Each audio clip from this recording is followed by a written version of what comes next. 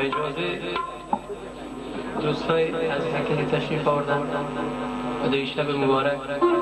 ما اصلا باید ده روز دیگه باید کراچی می ولی من نمی‌فهمم چطور شد که من دیشب از کراچی آمد آمد آمد بشهر و خدا بسیار خوشبخت احساس می‌کنم که خدمت شما هستم. خدا کنه که توفه ناشوزی که و مناسبت عرس حضرت خواجه معیدین غریب نواز رحمت الله علیه خدا کنه که طرف قبول شما هم واقع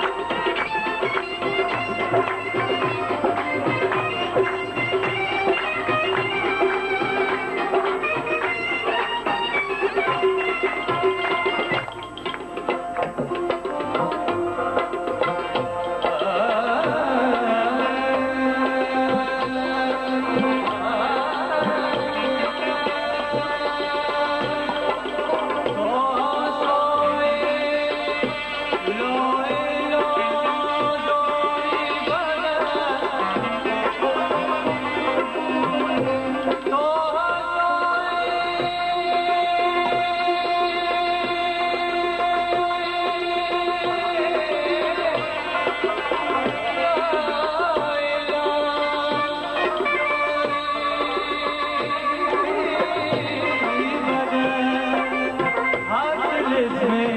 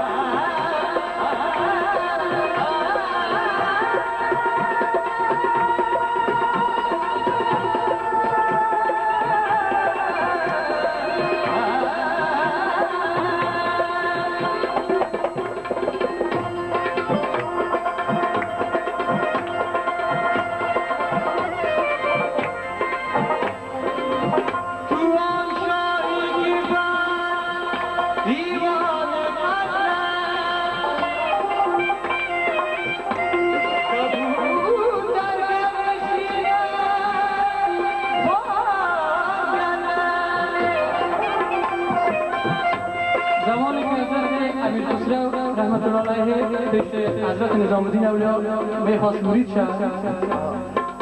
رفت دربار حضرت نظام الدین اولیا و در بیرون بارگاه دست به تعظیم ساز و همین نیت بدل کرد که ما یک ربایی را می‌کنم اگر جواب از ربایی را برای من شنیدم دوباره ما